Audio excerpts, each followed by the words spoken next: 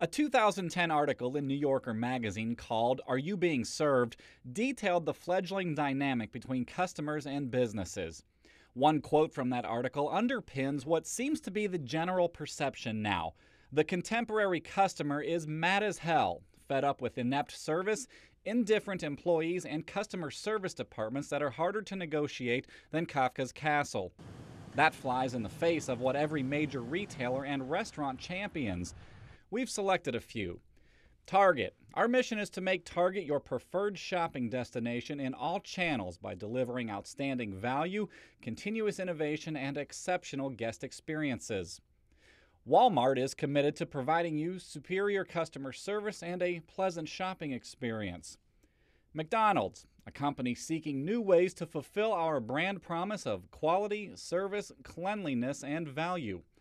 Olive Garden, the end result is a dining experience that's casual yet stylish, creating an atmosphere of openness, spontaneity, and generosity. But generosity is something a lot of consumers say is severely lacking at many businesses. That New Yorker article cites a survey of more than 300 big companies, 80% of which describe themselves as offering superior customer service. Consumers, however, contend it's more like 8%. How are the employees treated? And, and then that can translate into how the customers get treated as well. I have people skills. I am good at dealing with people. Can't you understand that? What the hell is wrong with you people? And it might not look good for the future of customer service in southwest Louisiana.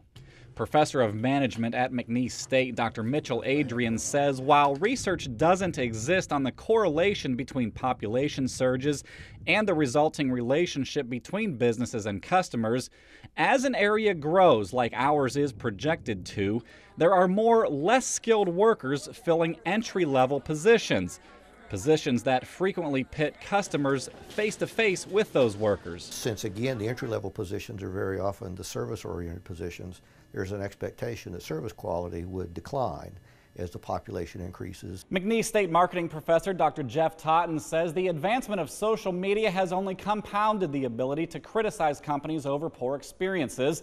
We'll delve into that more as our series continues Wednesday. At your service, Eric Tyger, KPLC 7 News.